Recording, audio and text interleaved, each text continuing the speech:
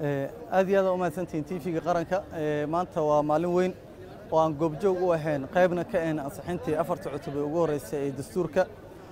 oo hadda loo diyaarinayo inuu dhammaantiis uu baarlamaanka maaragtay brosiiskiisa u marsiiyo. Afartii ugu horreysana maanta uu ansixiyey baarlamaanka koo iyo tobanaad.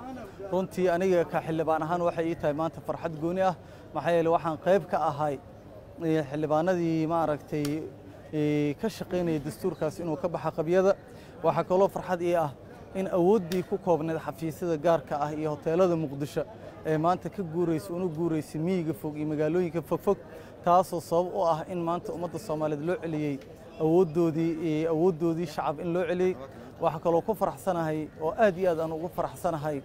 in maanta kadib aysan siyaasadda soomaaliya aysan u afduugnaan doonin shakhsiyaad fara ku tiris ah ee siyaasadda soomaaliya iyo awoodda soomaaliyeedba ay gacanta u gali doonto shacbiga soomaaliyeed ay gacanta u gali doonto.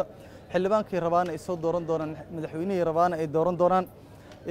Waxaan ugu baaqaya qof walboo soomaaliyeed maanta fursadda hortaala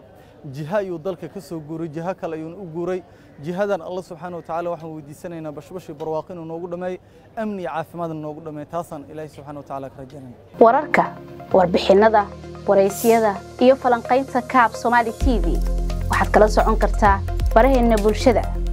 Facebook twitter instagram tigtok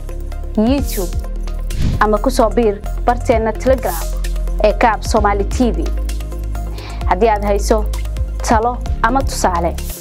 ama aad doonayso inaad nala wadaagto aragtidaada waxaad inoogu soo diri kartaa watsab lambarka shaashadda kaaga muuqda ama imailka info at cab t v com sidoo kale si fudud u booqo kadibna rukumo websaytekeenna www cab t v com si aad ugala socoto warbixinnada soomaali iyo ingilish labaduba. Cab t v waa kaabaha bulshadeenna